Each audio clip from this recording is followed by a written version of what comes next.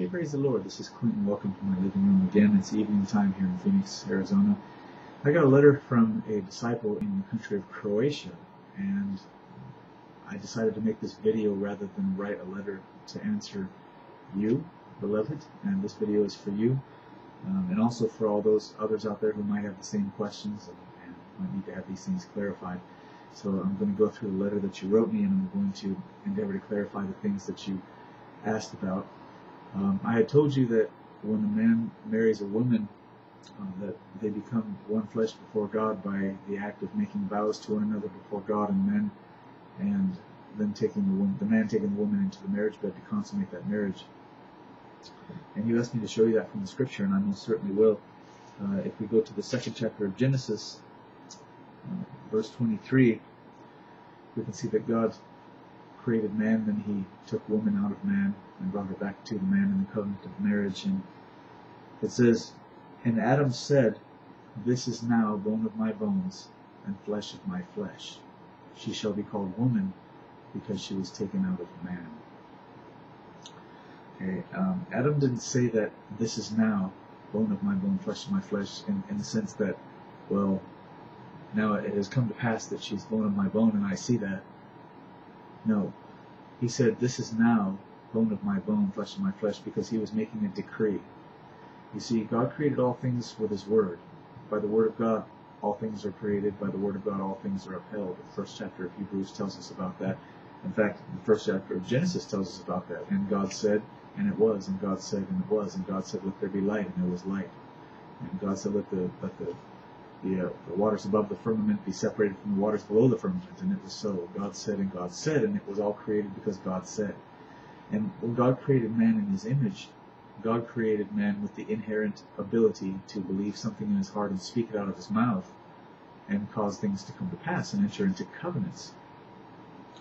Okay, your word is very important. In, the, in, the, in these last days, and especially in the United States of America, people are very deceptive and people don't understand the value of your word. People will very easily lie. People take oaths in court and then they lie. Um, but that's why Jesus said don't take any oath at all.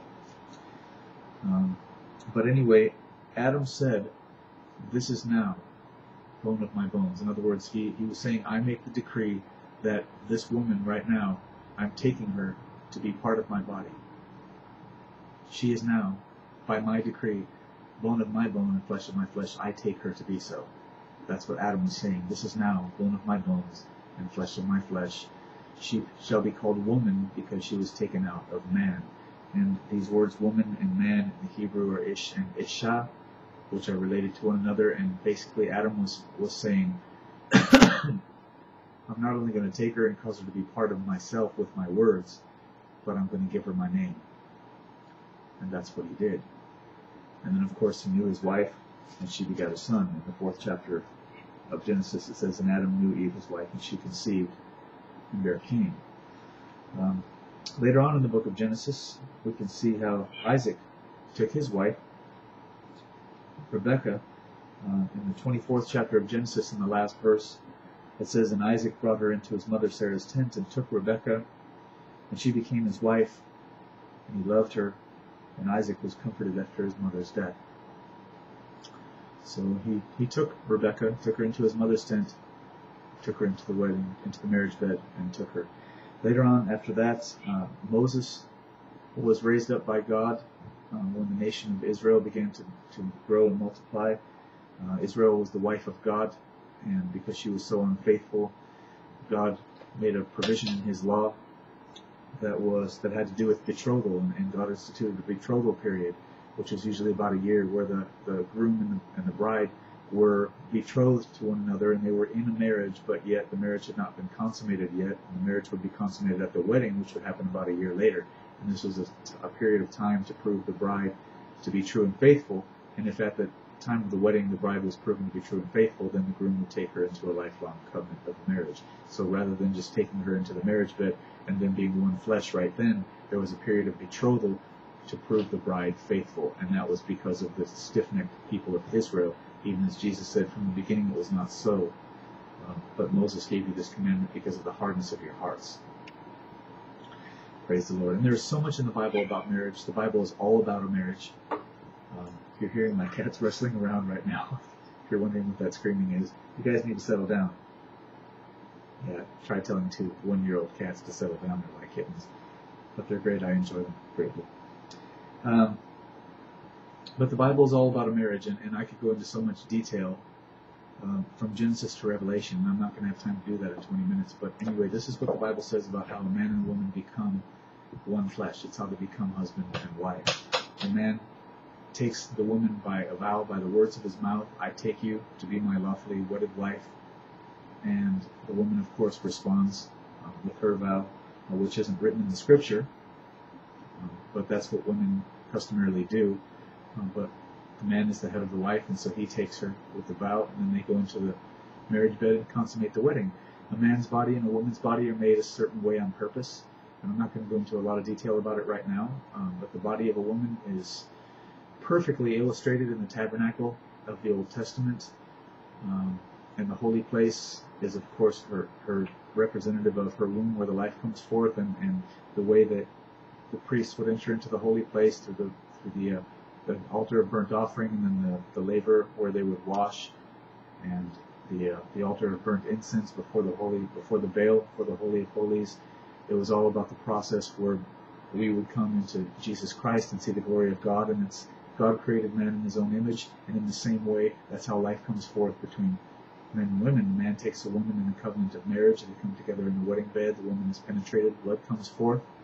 Um, if the woman is a virgin, blood comes forth. It's a shedding of blood. It's a blood covenant. And after the blood comes forth, then life comes, the seed comes from the man into the woman, and life comes forth in the womb of the woman. That's how it works. That's how it was designed to be from the beginning. And so part of the covenant of marriage is not only the man taking the woman with a vow, with his words, but the, the man taking the woman into the marriage bed um, and entering into her secret place and causing conception to take place, for life to come forth in her womb. That's why God made two one. And, and in Malachi it says, Wherefore one, that he might have the residue of the Spirit, that he might, excuse me, that he might see, that there might be a godly seed. Forgive me, I don't want to misquote it. Let me go there real quick. Malachi chapter 2. Blessed be the name of the Lord. 2.15 and did and did not he make one Yet had he the residue of the Spirit, and wherefore one? That he might seek a godly seed. This is why two become one. This is why a man and woman become one flesh, that they might bring forth a godly seed. That's why. That's the whole reason why a man and woman marry is to bring forth children. That's that was the purpose of it. Um, well, among many other things. But anyway, that's what makes a man and a woman married. When the man makes a vow to the woman, takes her into the marriage bed, and consummate the marriage with sexual union. That's what the Bible teaches. Let's see, what was the next question that you asked? Okay, you asked about when people enter into a marriage, does it matter whether or not they're Christians? Before I talk to you about that, I want to go to the second chapter of Romans in the New Testament, and I want to share with you a few verses in Romans chapter 2. Paul's talking about the law, and I'm going to start in verse 12, Romans chapter 2, 12, and I'm going to read down to verse uh, 16. Okay, blessed be the reading of the word of the Lord. For as many as have sinned without law shall also perish without law, and as many as have sinned in the law shall be judged by the law. And then we have a parenthetical statement in the midst of a sentence. For not the hearers of the law are just before God, but the doers of the law shall be justified. For when the Gentiles which have not the law do by nature the things contained in the law. These having not the law are a law unto themselves, which show the work of the law written in their hearts, their conscience also bearing witness, and their thoughts the meanwhile accusing or else excusing one another. And the day when God shall judge the secrets of men by Jesus Christ, according to my gospel. Okay, the reason I read this is because marriage is a law. Okay, the Bible says in, in the second chapter of Genesis, For this cause shall a man leave his father and his mother and cleave unto his wife, and they twain shall be one flesh. God spoke it, it's the law. When a man and woman come together in the covenant of marriage, they cleave unto one another and they become one flesh. It's a law. Okay? Um, it doesn't matter if you are a Christian or a Buddhist or an atheist, so-called, or a Catholic or whatever you might be, when you enter into a law that was ordained by God, a covenant, excuse me, that was ordained by God, it's a law. It's binding. It's just like uh, if you're standing on top of a building and you don't know that gravity exists, or you don't, you decide that you don't want to believe in gravity, and you jump off the building, you're going to go down because gravity is a universal law that works all over the world, whether you believe in it or know about it or not. Um, when you drop something, it goes down because gravity is a law. Gravity is a law. Marriage is a law. And when you enter into it, it doesn't matter whether you know the Bible, believe the Bible, or not, it is a law. And what Romans chapter 2 verses 12 through 14, 12 through 15 reveals to us is that the law is written in your heart. And even if you are not a Christian, even if you're a Buddhist or a Hindu, when you desire to take a woman, if you're a man and you desire to take a woman to be your wife, the reason that you desire to take her to be your wife is because the law of God is written in your heart. You might be a Buddhist or a Hindu, and you might believe in, in the, the whatever multitude, myriad of gods that they serve, which are no gods. And those gods didn't supposedly say anything about marriage, but yet you want to take a wife. Why? Because the law of God is written in your heart, and you know it. And when you go to that to that marriage ceremony, you have that marriage ceremony, and you make a vow to that woman, and she makes a vow to you, and then you go into the marriage bed it's because you know, because God has put it in your heart to know that God has ordained marriage between a man and a woman. When those married people commit adultery, when they cheat on each other and commit adultery, they do it in secret. They do it in the dark. They do it where nobody can see. Why? Because they know that adultery is against the law. They know because when they're doing when anybody's doing works that are evil they do it in the dark because they know that they don't want anybody to see it because they know that it's against the law because the law of god is written in their hearts. Now listen to what paul said.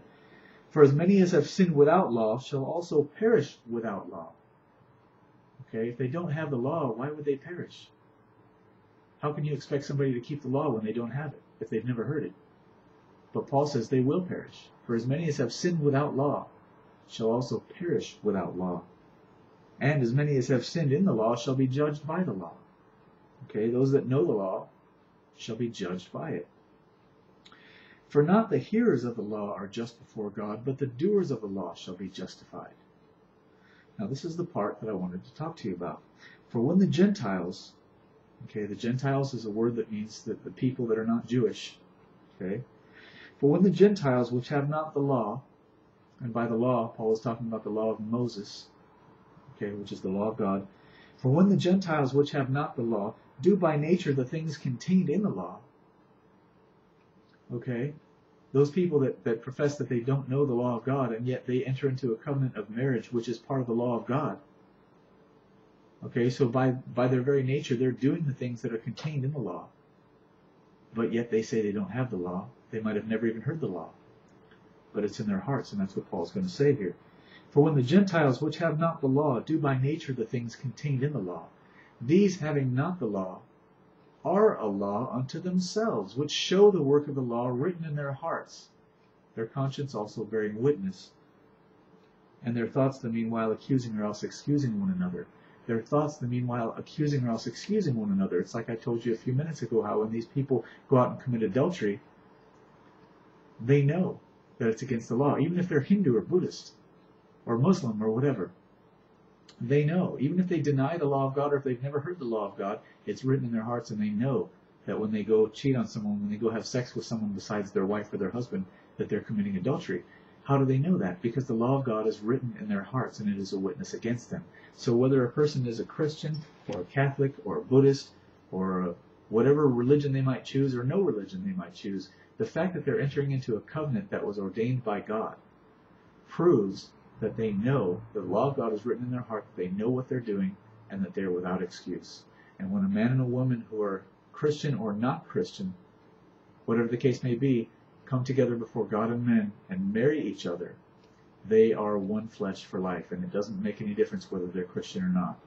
If you're not a Christian and you enter into a covenant of marriage, you have, you have entered into a covenant that was ordained by God. The law of God makes you one flesh, just like the law of gravity will cause you to go down when you jump off a building. It is universal. Okay? It doesn't make any difference whether you're a Christian or not. It's it's good if you are a Christian so that you know um, how to love your husband or love your wife and make that marriage be blessed. But the fact that you have entered into a covenant ordained by God is binding, and it doesn't matter whether or not you are a Christian, you're still married. Okay? Otherwise, if that wasn't the case, and if maybe you could say, well, I wasn't a Christian when I got married the first time, and, now I am a Christian and I want to marry this woman. I've heard that in the churches a lot. Well, if that's the case, then it, you could say, well, if you married this woman 20 years ago and you were both um, atheists, let's say, and now you've just become a Christian, then all of a sudden you're not married to your wife anymore? If you love her, would you have to remarry her? Marry her again now because you're a Christian now? Of course not.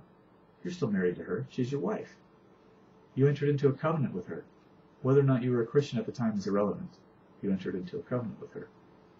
Okay? For when the Gentiles which have not the law do by nature the things contained in the law, these having not the law are a law unto themselves, which show the work of the law written in their hearts. Okay, which proves that the law of God is written in their hearts and that they know. They know. Okay, let's move on to the next thing. You said, could it be that every other union, merge, or coupling by any other system, be it religious or civil, as we know they are of this world, falls in the category of sin towards God? Um,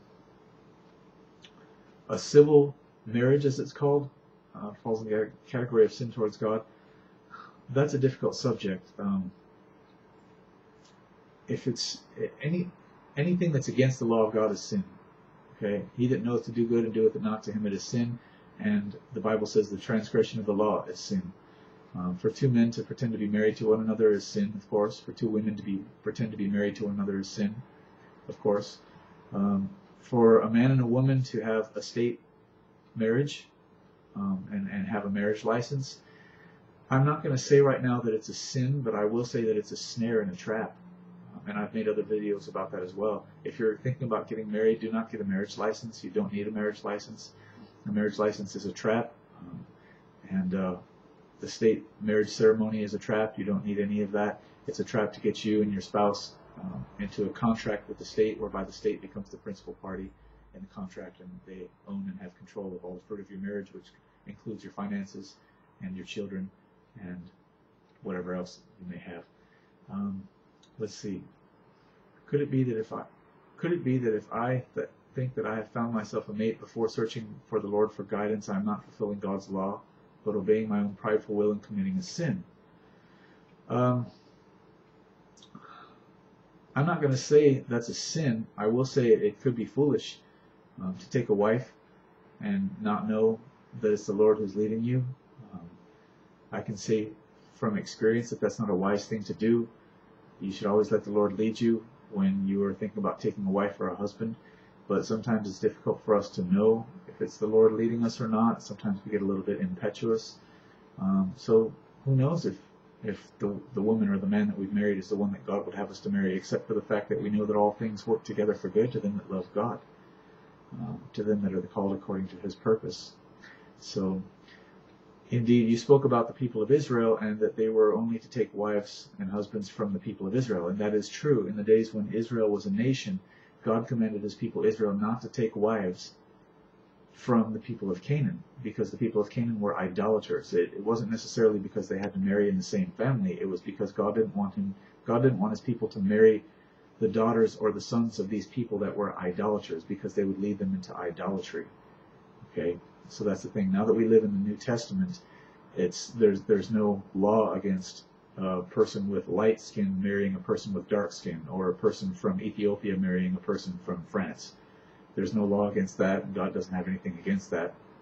And He never did really. The thing that God had something against was marrying people from other cultures, which would bring their religious traditions, uh, which God hated, into the nation of Israel and defile Israel by bringing idolatry into Israel. Praise the Lord. And so that that's the answer to that. And I, I hope that I've addressed these things for you um, in a way that was satisfactory to you. I know that you want to see these things from the Scripture, and I hope that I've shown you from the Scripture satisfactorily. I've shown you what marriage is from the Scripture, um, what makes a man a husband and wife before God, what makes them one flesh. I've shown you uh, how that when people get married, it doesn't matter whether they're a Christian or not, but they're still married um, before God. And hopefully those people will come to know the Lord Jesus Christ at some point in their lives, but if they don't, um, they're still married. So I hope this is a blessing to you. Peace be unto you in Jesus' name.